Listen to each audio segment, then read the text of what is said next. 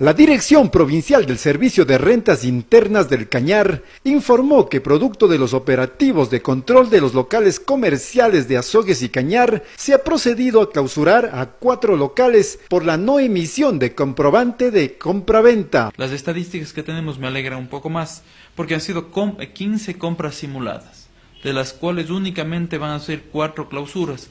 Eso quiere decir que de alguna manera la población está eh, encaminándose en lo que quiere la Administración Tributaria, esto es eh, emitir comprobantes de venta. La semana anterior, por motivo del Día del Padre, que no es tan movido como es el Día de la Madre, sin embargo, estuvimos, eh, estuvimos visitando locales, visitando locales, conversando con los contribuyentes y, les íbamos diciendo justo estos temas, ¿no? que, que vendrán procesos de, de de clausura, vendrán compras simuladas, así que les pedimos la emisión de comprobantes de venta. Eh, fruto de esto es que tenemos cuatro clausuras que en transcurso de la mañana estaremos notificando a los contribuyentes y, bueno, pues, procediendo a, imponer la sanción y, eh, para explicarles cuál es el proceder de ahora en adelante.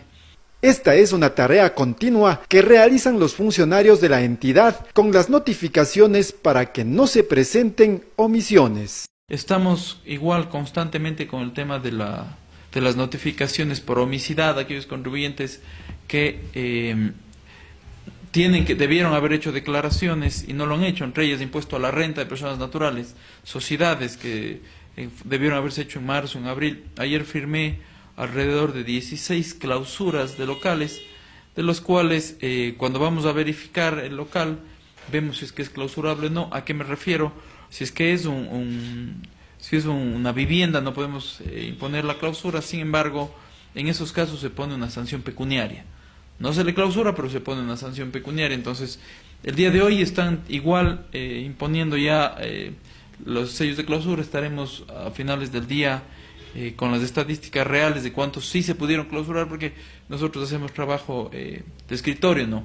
Vemos los incumplimientos, se le notifica nuevamente con la con el documento de prevención de la clausura, preventiva de clausura, si no cumple, bueno, pues procede la clausura directamente. Entonces, de los 16, más o menos estaremos con unos 6, 7 u 8 que si son clausurables, entonces estaríamos hablando ya de 14 o 15 clausuras. Dijo también que las sanciones son del cierre de local cuando es por primera vez de 7 días y de 10 días cuando es por reincidencia son contribuyentes que no mismo están queriendo cumplir, a los cuales eh, tendremos que conversar. Yo he estado haciendo esa, esa tarea de que cuando vienen a los contribuyentes a conversar o a informarse de cuál es el proceder luego de la clausura, les he invitado cordialmente a conversar, a explicarles, a llamarles la atención y sobre todo motivarles a que sigan con su actividad. Eh, se aprende de todo, entonces de la clausura también tenemos que aprender. El contribuyente tiene que en ese lapso hacer la declaración tiene el rato que está clausurado, tiene que hacer la declaración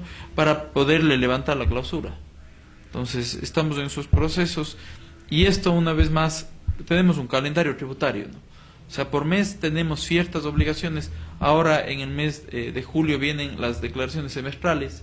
Igual, en, en, agosto estaremos revisando los que cumplieron o no. Los que no cumplieron, se les dará una notificación pidiendo que lo hagan. O después vendrán las clausuras. Vienen ya los, los, el tiempo de vacaciones, estaremos visitando hosterías para recordarles la, la obligación de emitir comprobante de venta y en el mes de agosto igual hemos de estar visitando o recordando a la ciudadanía en general la, la obligatoriedad de exigir comprobante de venta por inicios de clases. Entonces todo el año estamos constantemente eh, acercándonos al contribuyente para, para motivar el cumplimiento de los deberes formales. Noticiero Contacto informó el Calle.